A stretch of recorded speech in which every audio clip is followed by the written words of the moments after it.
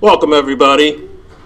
We've been talking about a cool feature of Google Calendar, and that is syncing your calendar with your smartphone. Welcome back, our team member, Dustin, who will take you through that process. Okay, guys, so we're back now with how to sync your Google Calendar with your phone. In this case, we're looking at an Android device. And our Android device here will help us to see just how we can easily sync our Google Calendar with the native calendar app.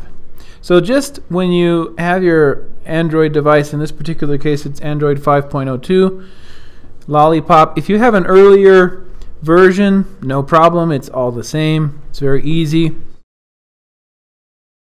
You just completed part one of this video. To see part two, click on burntolearn.com.